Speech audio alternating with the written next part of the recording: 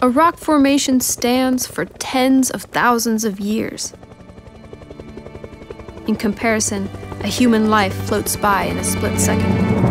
To evacuate Warren Harding and Dean Caldwell off the face of El Capitan, the wall of the morning light,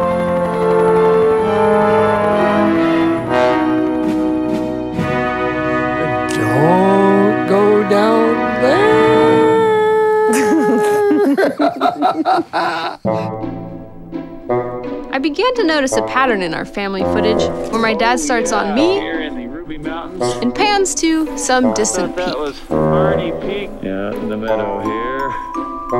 Middle Cathedral Rock again.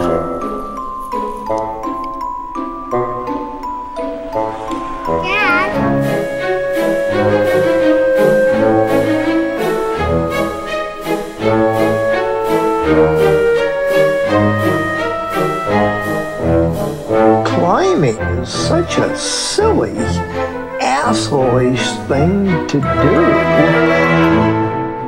Climbing for me was life, and nothing was going to stop me. Nothing. Again, the way of life that we knew was sort of beginning to change. You don't do that around here. It was better than religion. How can you erase something that has already happened? That's the, what's the purpose of life here?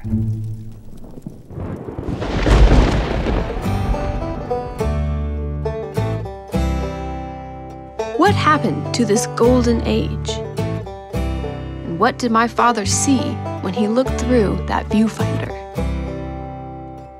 To understand why anybody would risk their life to climb rocks, we'll have to hear the story from the very beginning.